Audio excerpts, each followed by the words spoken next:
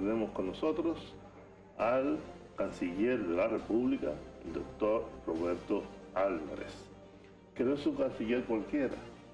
Yo pensaba mientras él se sentaba que es una de las pocas veces en que la República Dominicana tiene un canciller de verdad, que no es un político propiamente dicho, sino que es un hombre que ha dedicado mucho tiempo a la labor diplomacia, que ha trabajado arduamente durante muchos años, tanto aquí en la República Dominicana como al extranjero, que ha estudiado, que ha hecho maestría, que se ha formado políticamente, culturalmente, intelectualmente en esta área. Por lo tanto, tiene todo el bagaje, toda la experiencia y todo el conocimiento para representar a la República Dominicana en cualquier escenario internacional y para tratar los diversos temas que les ocupan como canciller. Buenas noches, Roberto, ¿cómo estás? Qué gusto verte, qué gusto tenerte aquí. Buenas noches, Juan. Muchas gracias por la invitación y gracias por tus generosas palabras. No, no, Estuve viendo, estuve viendo eh, una biografía y la verdad que quedé altamente impresionado, no solamente por tus estudios, sino por todo el trabajo que hay realizado. Y yo decía que, pocas veces hemos tenido un canciller como tú, porque usualmente eh, los presidentes nombran como un político, ¿no? Lo sacan como de un, sin un respeto por lo que implica la Cancillería, sobre todo en estos tiempos. ¿no? Mira, eh, lamentablemente nuestra Cancillería y el Servicio Exterior en general fue desde hace un número de años largos un botín político, lamentablemente. No se le dio la importancia, la seriedad que amerita. Debería ser una carrera realmente respetada, así como en el ejército, por ejemplo. No se le ocurre a un presidente o a un político designar a una persona de buenas a primera como general, eh, eso, no, eso, no, ocurre, ¿verdad? Es exactamente de respetar el escalafón diplomático. Eso es uno de los aspectos esenciales que hemos, hemos tratado de crear esa cultura en Cancillería eh, obviamente respaldada totalmente por el presidente Abinader. Yo creo que ha sido un, acierto del presidente justamente seleccionar en la Cancillería a una persona que tenga el conocimiento, la VAR, la experiencia para manejar todos los conflictos que se presentan estos días. Bueno, exactamente, uno de, las, de los aspectos de las relaciones internacionales que mucha gente de repente se preocupan porque surgen conflictos. Ese es parte de la vida internacional, de las relaciones internacionales. Para eso existe una Cancillería, un servicio exterior, es para la solución pacífica de los conflictos que surgen en las relaciones internacionales. ¿Y, qué, qué, tanto hemos crecido, hemos avanzado? ¿Cuál ha sido la experiencia de estos tres años? ¿Qué hemos logrado en este tiempo? Mucho, hasta ahora, mucho. Mira, los tres ejes principales de la política exterior han sido la protección de los dominicanos en el exterior. Número dos, la promoción de las exportaciones dominicanas y atracción de inversión extranjera directa. Y número tres, la promoción de la democracia como un valor intrínseco, no solamente nuestro nacional, sino también un respeto a nivel de los tratados eh, internacionales en ese sentido y los derechos humanos. Esos son los tres, para los cuales hay un eje transversal que es la profesionalización, la modernización, el entrenamiento debido del personal diplomático. Entonces, comenzando por eso, primer lugar, promovimos, el presidente promovió, entendió desde el principio que era importante promover a los ministros consejeros que llevaban 15, 20, 25 años con un techo que no podían traspasar y llegar a ser embajadores. Desde el inicio el presidente designó 11 ministros consejeros como embajadores, eso fue de las primeras designaciones. Ese ha sido un aspecto, ha generado una mística dentro del, del servicio exterior de que sí es posible crear algo. A propósito de eso, yo tengo un embajador amigo que me eh, decía que sí, él estaba designado, pero primero tenía que hacer unos cursos. De entrenamiento. unas cosas. O sea, que ya no es que, eh, ven tú, y vete para tal sitio. No, no, no, espérate.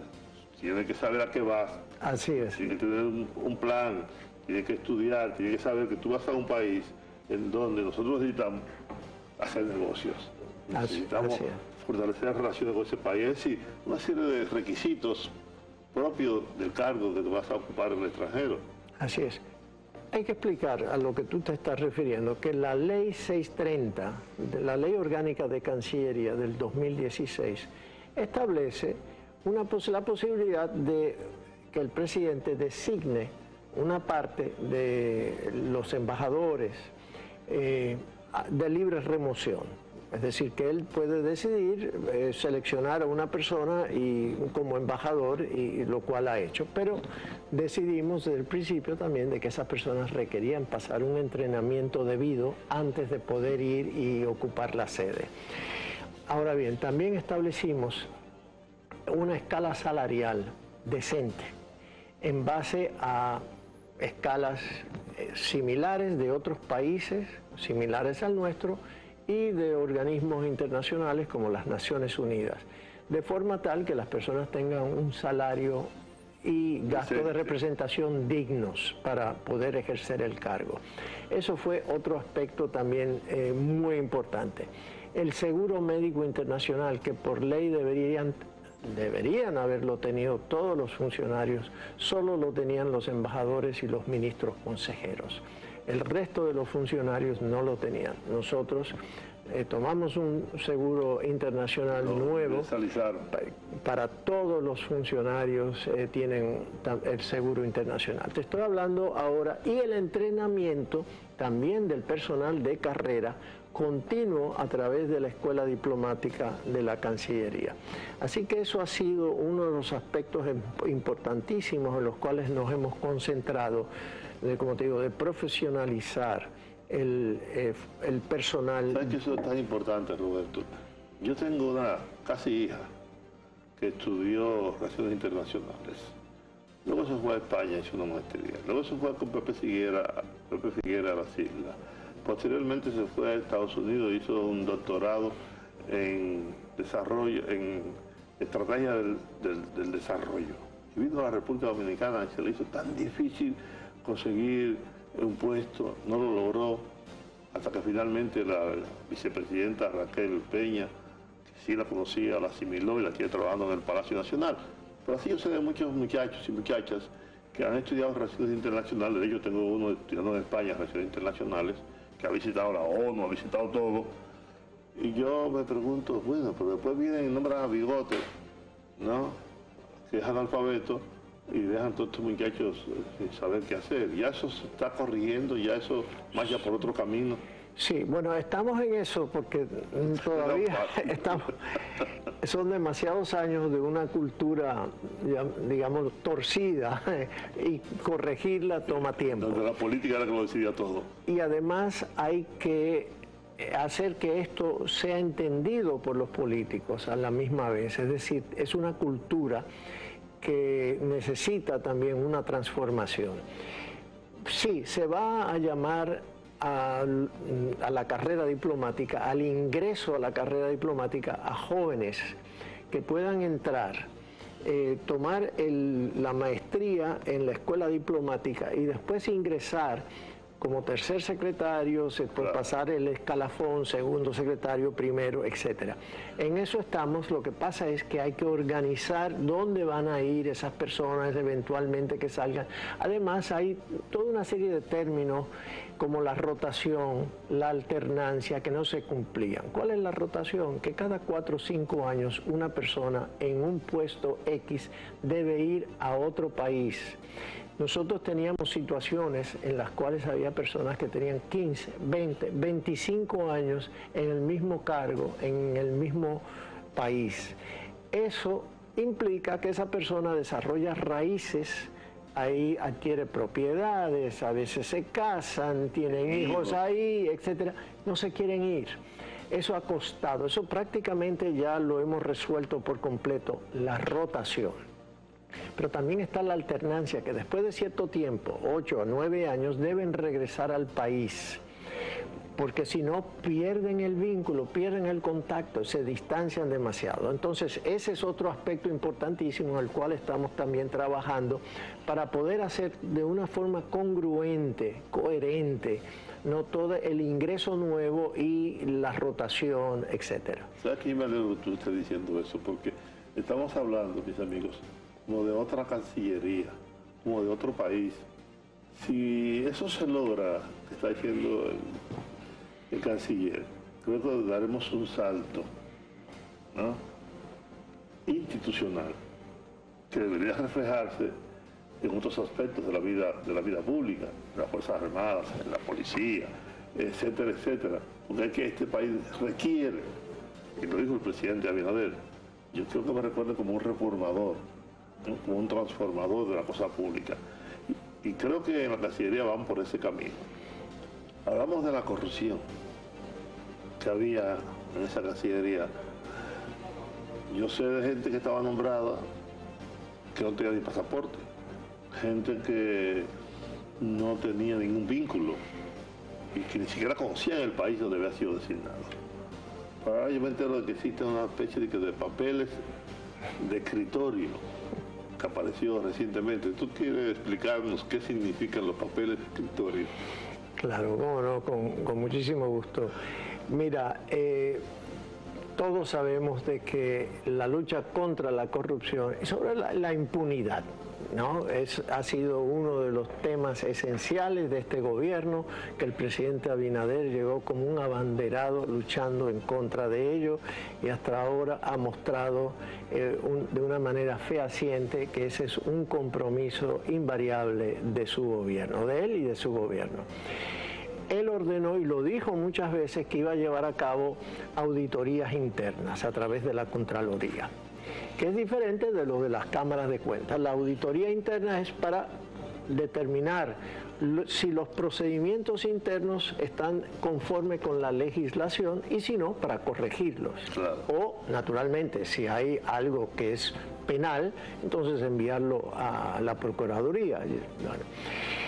En la la Contraloría hizo un análisis de agosto del 20, 2020 hasta abril del 21, en esos meses, de la Cancillería, así como de otras instituciones. Bueno, ese informe no nos fue enviado a nosotros hasta marzo de este año, de esos meses.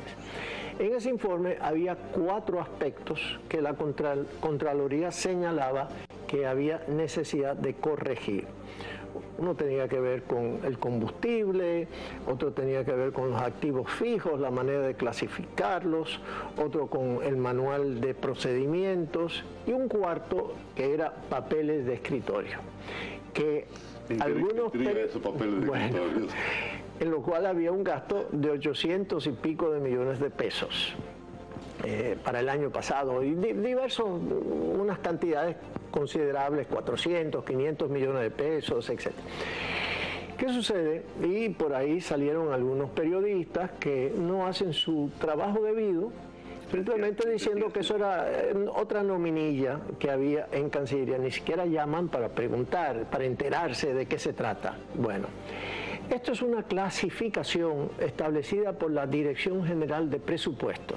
En este caso particular, desde 2004 existía esta es una clasificación 2.3.3.2.1 papeles de escritorio. Bueno, ahí la Dirección General de Presupuesto en el 2004 decidió de que ahí iban a ir los suministros de oficina de todas las embajadas, eh, los organismos internacionales dominicanos en el exterior se iban a clasificar ahí. Pero después entonces entró agua, luz, eh, internet, eh, todo el personal local que iban se fueron incluyendo en ese rubro, en esa clasificación, ¿no?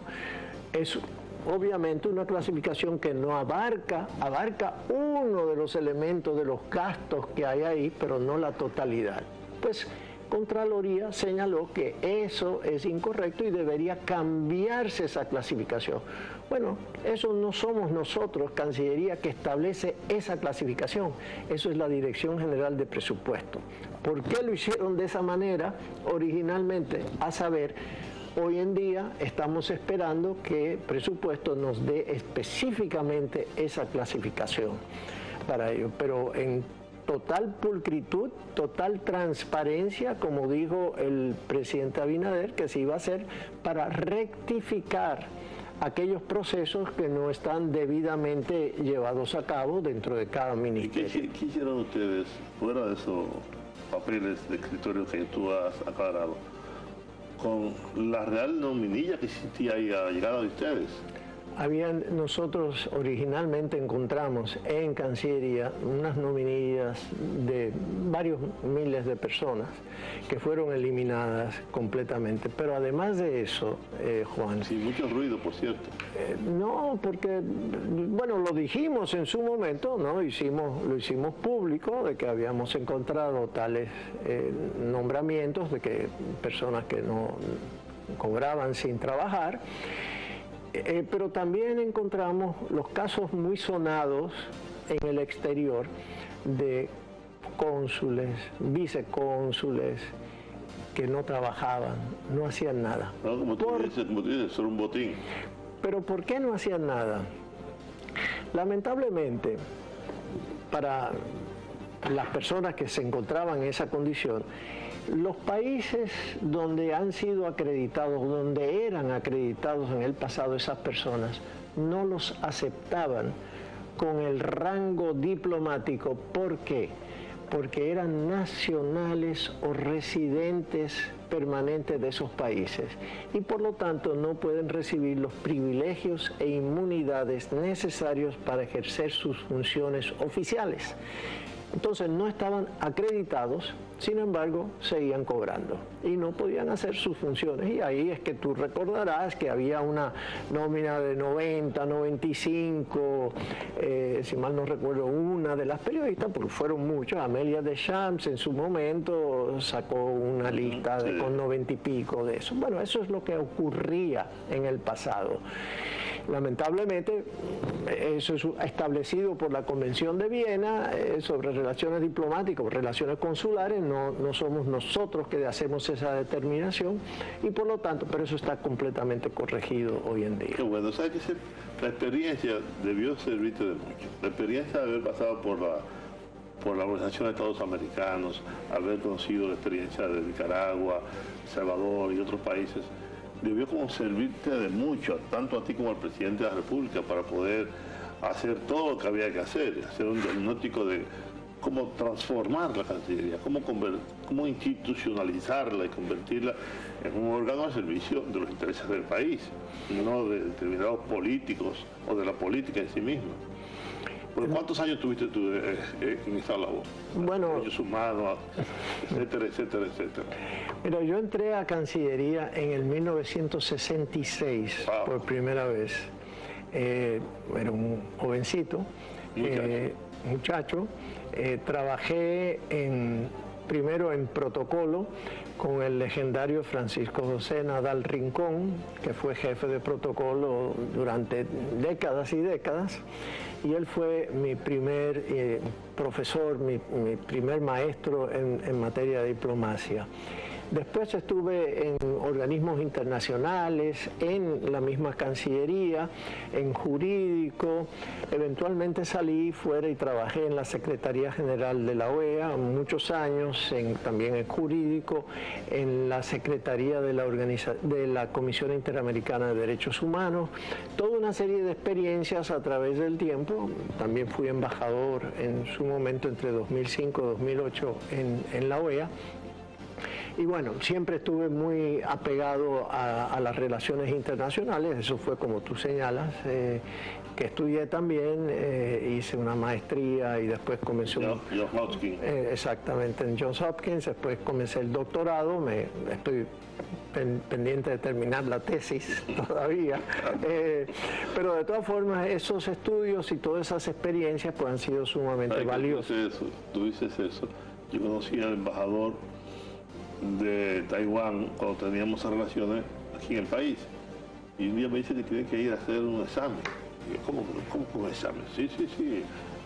Tú sabes que en China, en Taiwán, por ejemplo, los exámenes son una especie como de cuarto poder del Estado. Y everybody tiene que examinarse cada cierto tiempo para mantener los conocimientos al día, estar a todo. Y si usted no pasa esos exámenes, entonces no puede continuar el cargo. ¿No? hay que estudiar siempre. Claro. Y hay que mantenerse al tanto de lo que está pasando en el mundo para que no conocemos de espalda el desarrollo de la humanidad en sentido general. Yo creo que eso también aquí hay como que crearlo un poco. Sin, lugar a dudas, mira, eh, en la escuela diplomática hoy en día continuamos el entrenamiento de los funcionarios continuamente y estamos introduciendo ahora materias nuevas. Eh, acabamos, por ejemplo, de iniciar una diplomacia energética eh, porque la energía es un tema fundamental y, hay que conocer exactamente lo que está ocurriendo en materia de, petróleo o de gas o de energías renovables, etcétera, y lo acabamos de, iniciar conjuntamente con el Ministerio de Energía y Minas pero también está la inteligencia artificial. Tenemos que también eh, entrenar a nuestros funcionarios eh, en ese sentido, en materia comercial, etcétera. Todos estos aspectos requieren un entrenamiento continuo. Haití es, digo yo, tal vez el principal problema de la República Dominicana. Y tanto el presidente de la República, Luis Abinader, como tú, en tu condición de canciller, han sido coherentes sistemáticos en señalar los problemas que ello implican. ¿Qué han hecho ustedes de manera concreta? ¿Por qué nadie les hace caso? Insisten que la comunidad internacional, la comunidad internacional, la Organización de Estados Americanos, la, ONU ahora acaba de decir un supuesto experto en la materia, que debemos de tener las, las repatriaciones, etcétera, etcétera. Es un serio problema realmente.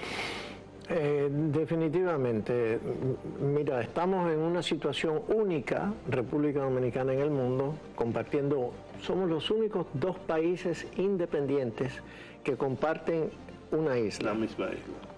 Pequeña, por cierto. Eh, muy pequeña y, por tanto con poblaciones eh, importantes y, y, con un desequilibrio en el crecimiento, un país mucho más desarrollado que el otro.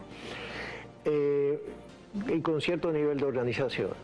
Entonces, el inicio del gobierno, Juan, fue el, presidente Abinader tenía toda, y nosotros en Cancillería, todas las intenciones de, formar y forjar la mejor relación posible con el gobierno haitiano. Y de hecho, tú recordarás que en enero del 21 el presidente Abinader se encontró con el presidente Moïse, que paz descanse, eh, en Calimete, en, eh, cerca de la frontera, en territorio dominicano, y adoptaron eh, un comunicado con nueve puntos, que eran los lineamientos generales para la relación bilateral.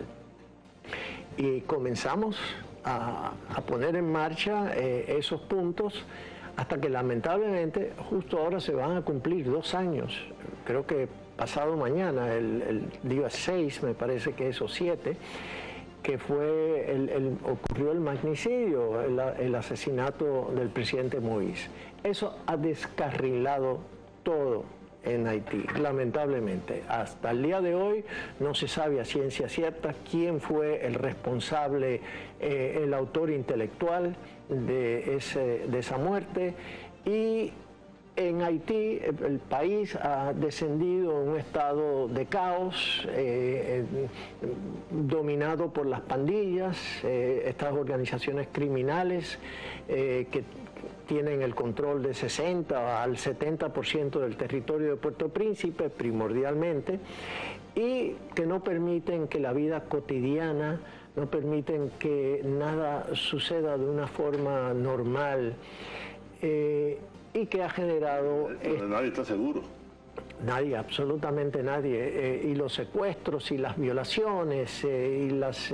bueno, esta situación iba de mal en peor. El presidente, hasta que el presidente Abinader en septiembre del 21 en Naciones Unidas, justo después de la muerte de, de Moïse, hace un llamado enérgico a la comunidad internacional. ¿Qué sucede? Que un mes después, en el Consejo de Seguridad de Naciones Unidas, había un movimiento de algunos países para cerrar la oficina de Naciones Unidas en Haití no querían seguir ya más, más tiempo en Haití. Que otros arreglaran los problemas diciendo de que ya habían estado en Haití suficientes años, que habían gastado suficiente dinero y que había otros países con, mayor eh, eh, necesidad de atención. Entonces, ahí comenzamos nosotros una labor diplomática intensa con el presidente para tratar de revertir ese proceso. Aquí todavía no se ha reconocido que si no hubiese sido por ese despliegue que se llevó a cabo, que hemos llevado a cabo y que no hemos cesado, no se hubiesen adoptado necesariamente esas dos resoluciones que el Consejo de Seguridad adoptó, la 2645 y la 2653 el año pasado, estableciendo sanciones para cualquier persona o empresa que financie a las pandillas, eh, a las organizaciones criminales en Haití, o eh, crear una conciencia acerca de la importancia de parar los armamentos, el envío de armas y de municiones hacia Haití. Y el llamado del secretario general también a ayudar a crear una fuerza multilateral de asistencia para la Policía Nacional Haitiana, que todavía no se han materializado, pero que se han movido en ese sentido. Ya, por ejemplo, países como Canadá están ayudando allá directamente en Haití, en territorio haitiano, a la Policía Nacional Haitiana con policías canadienses. Están entrenando, tengo entendido, en Jamaica, a también miembros de la policía eh, haitiana. personalmente, ¿qué tú crees? ¿Cuál puede ser la salida? Hay quienes hablan de una intervención militar. ¿no? Hay quienes dicen que, que la ONU debe asumir una mayor responsabilidad junto con Estados Unidos, Canadá, Francia y otros países. Pero personalmente, tú que conoces la realidad haitiana, que le está viviendo constantemente desde la Cancillería y junto con el presidente de la República, ¿Qué podemos hacer los dominicanos? Hay un problema muy serio. Mira, el tema este de las parturientas, de las repatriaciones, que estamos gastando 14% del presupuesto de salud pública justamente en el tema de los haitianos. De algún modo la República Dominicana está manteniendo eh, veintitantos millones de personas. La población dominicana más la haitiana, de algún modo, una buena parte de ellos. Nosotros no podemos seguir cargando tan pesado.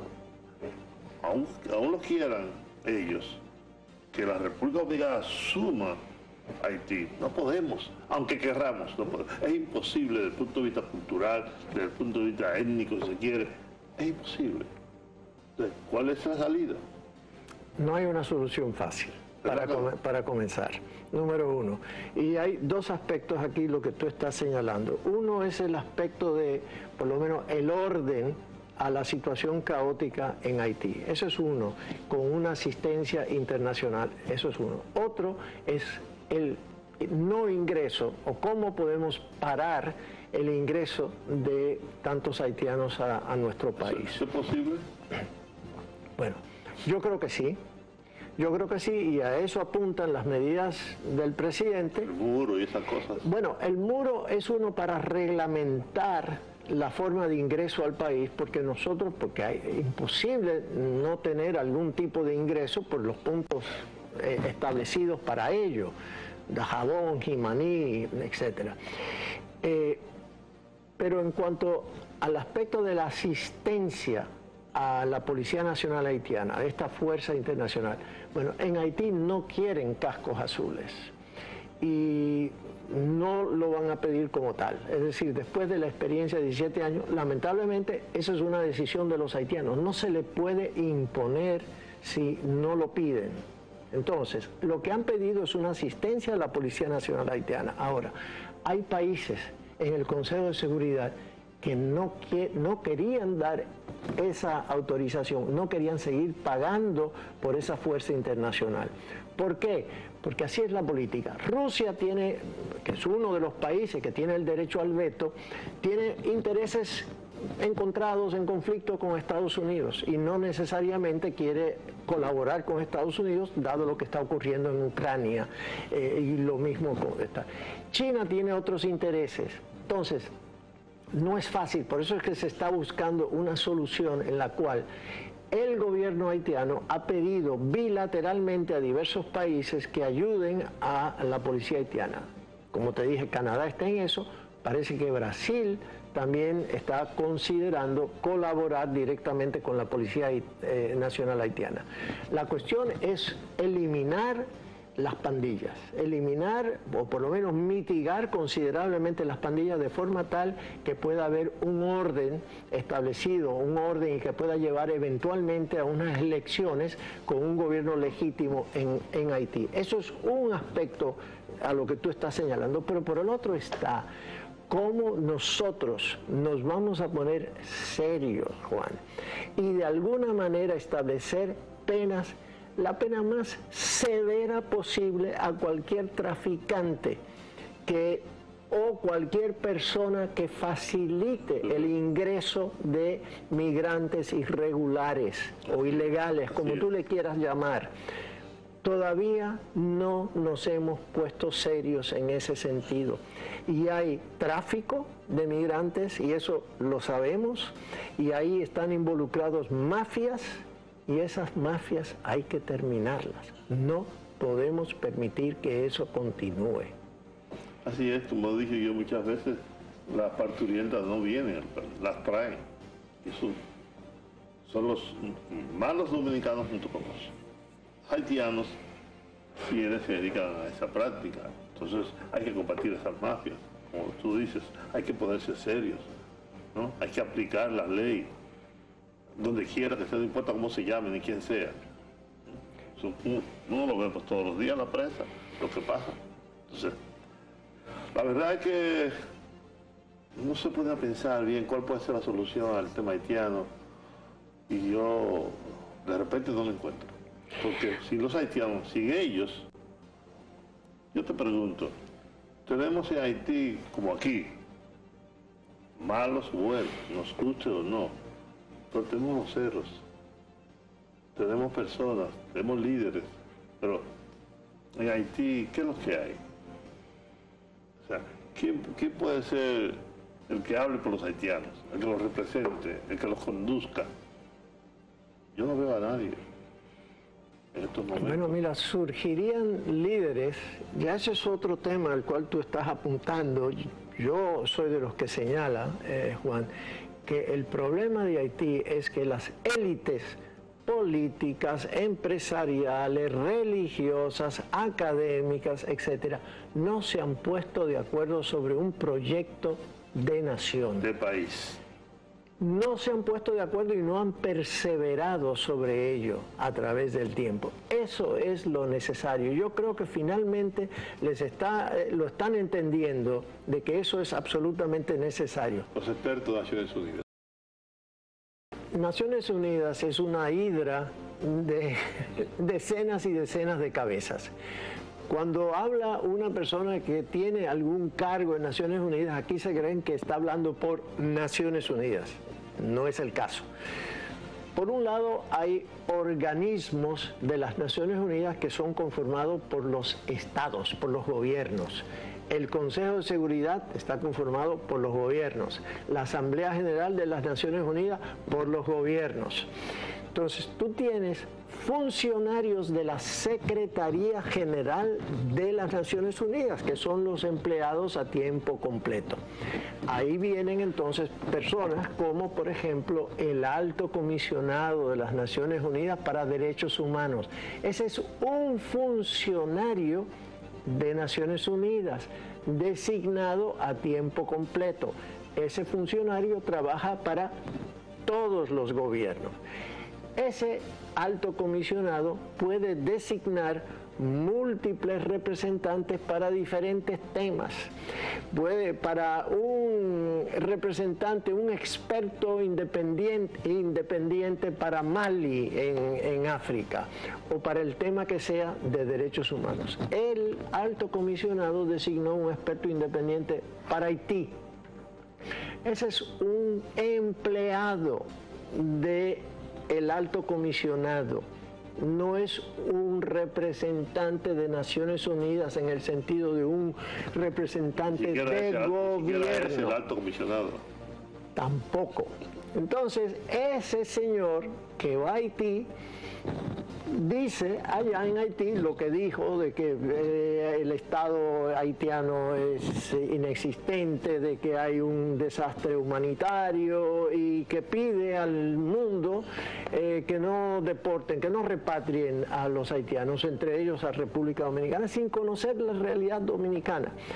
Pero este señor no habla por Naciones Unidas, pero obviamente nosotros respondimos, como respondimos, de que nosotros vamos a cumplir con nuestras y que nosotros no... Fue claro en eso, fue empático también. Así es, también dijo que eh, eso era irresponsable de parte de, Estado, de, Naciones Unidas. Quedan minutos apenas.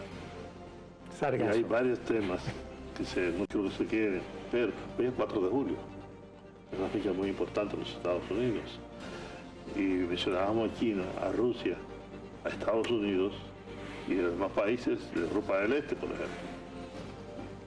¿Cómo, cómo, cómo las relaciones entre Estados Unidos? Porque ahí estamos nosotros a veces nos vemos como envueltos en una situación que no nos compete. La lucha de Estados Unidos o la disputa con China, Taiwán o la guerra de Rusia, Ucrania, que nos perjudica en gran medida ¿no? Porque cuando suben los commodities, suben los, el precio de combustible, etcétera, etcétera. Pero manejar esos conflictos, ¿cómo está la relación con Estados Unidos, que no le gustó mucho el establecimiento de relaciones con China, etcétera, etcétera? ¿Cómo manejar todos esos intereses para una economía y un país tan pequeño como el nuestro? Sí, bueno, mira, yo no voy a comentar sobre el establecimiento de las relaciones con China, con la cual nosotros, nuestro partido y nosotros estábamos de acuerdo, de la forma en que se llevó a cabo, ya eso es otra cosa hecha por el gobierno anterior. Eh, pero era sí eh, correcto haber establecido las relaciones. Las relaciones con Estados Unidos que tú estás preguntando, bueno, uno de los temas que a la gente le preocupa eh, mucho es porque no, no hay un embajador en, en República Dominicana. Bueno, primero hay que recordar que en septiembre del 20, septiembre del 2020, Estados Unidos designó un embajador acá. Eh, Calvin Smyer se llama, el señor eh, era un legislador del estado de Georgia y en abril del 21 lo designaron en vez de República Dominicana a Bahamas, cambiaron la designación.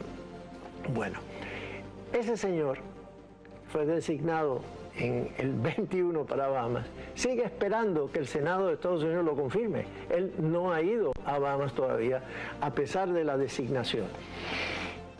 ¿Por qué Estados Unidos no ha designado a alguien ahora? Yo creo que han estado buscando una persona ideal para eh, venir aquí a República Dominicana, porque es una designación muy apetecible. Eh, es un lugar, nosotros somos considerados como un, un lugar paradisíaco desde el punto de vista de, la región. Cuando tú miras lo que está ocurriendo en la región, República Dominicana es un paraíso. Así nos ven desde fuera. Entonces, hay esa cuestión ahí de por qué no han designado uno acá, ya, ya vendrá, ya vendrá el embajador. Las relaciones están excelentemente bien, los, las exportaciones dominicanas subiendo cada día, las importaciones también, las relaciones de la comunidad dominicana en, en Estados Unidos muy bien, ¿qué te puedo decir? Eh, tú, tú conoces, tú lo ves. Claro, ¿sabes qué? Se nos fue el tiempo, lamentablemente, y se nos quedó el tema migratorio, no solamente el tema haitiano, sino hay 200 millones de seres humanos como migrantes. Así es. ¿no? Un problema bastante serio que no solo tiene la República Dominicana, sino que tiene el mundo. Y está diciendo que el tema del sargazo. También. ¿Qué implicaciones tiene el sargazo? Gravísimo, gravísimo. Tú vas a tener que volver un día esto cualquiera. Cuando tú quieras, Juan. un placer. Un placer. Gracias, programa. Gracias.